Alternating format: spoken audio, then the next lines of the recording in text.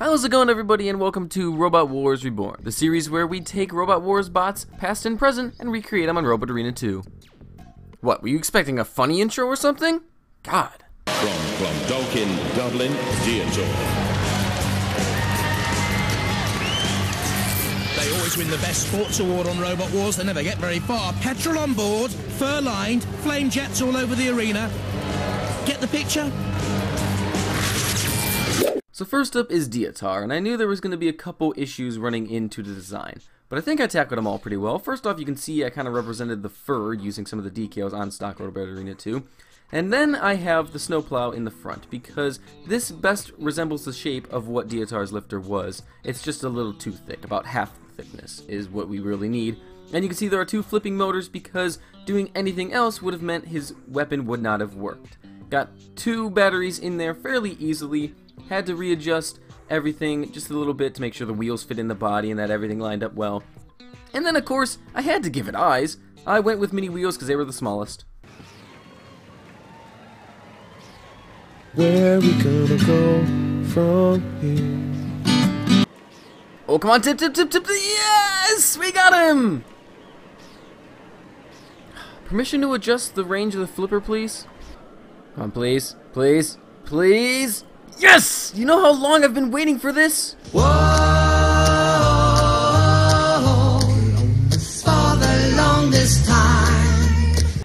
what an idiot. I can't believe he got stuck up there.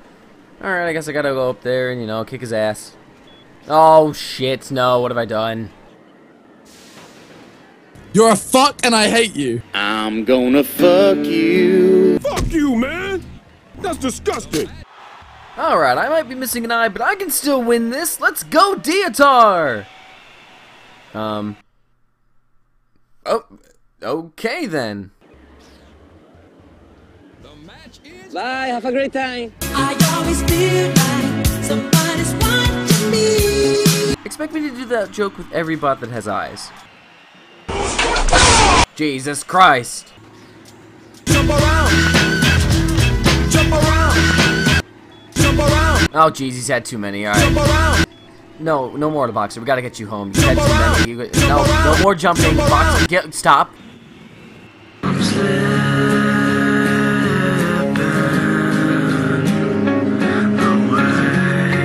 So, how good was the Diotoir recreation?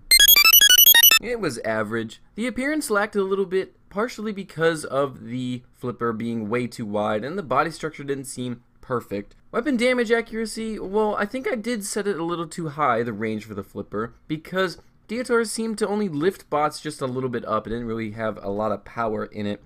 Record accuracy terrible 13 and 11 in real life was not at all represented. Fighting style, the recreate of was a lot faster than the real life bot. And whether or not he's fun to fight with on this game, yeah, it's alright. It's a decent little lifter.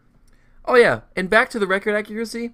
Diotoir went 15 and 0 in recording, so now we have a third Robot Wars robot that can join an elite group, unbeaten in recording. Congratulations, Diotoir. His final grade is a C. It's your on fire! What, do you think we'd get through his whole segment without having him on fire once? Come on. From Derby, Carbide.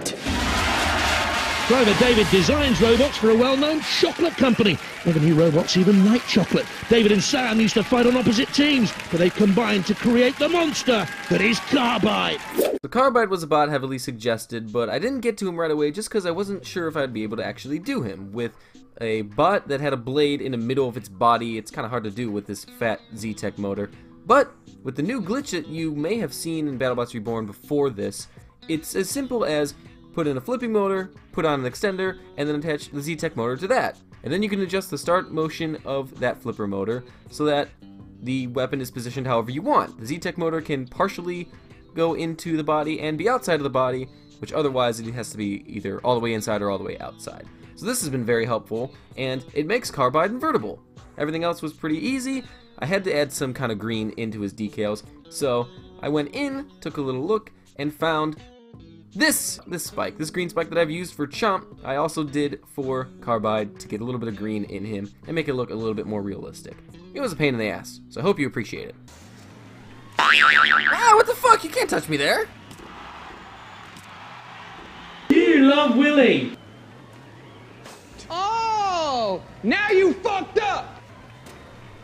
Iceberg's so weak, just imagine if this was the one that the Titanic hit. Just let that sink in. Wasn't clever, it was just mean. You got knocked the fuck out, man! Oh, really? I thought I won. Hail Satan! Oh, shit! The power of Christ compels you, bitch.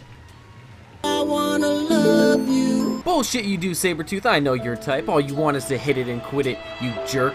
Why would you try and do that to me? You you don't know what I've been through and how that's You piece of shit! What? You better watch out before I fuck you up your fat fucking ass. Oh, it's on, bitch. Knock, knock, you about to get shell shocked.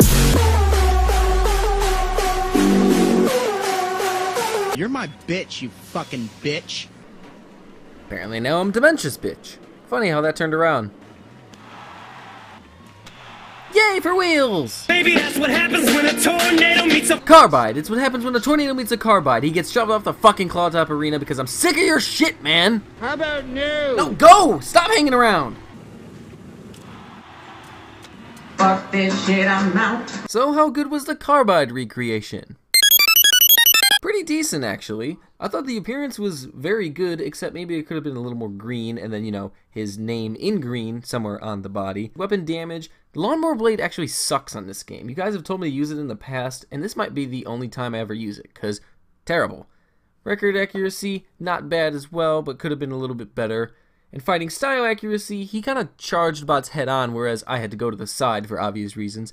Gameplay grade, although the Lawnmower Blade sucks, yeah, it, I mean, it still took off parts, didn't it? And also, he went unbeaten in recording, so would you believe it, we have yet another robot in that Elite Hall of Fame.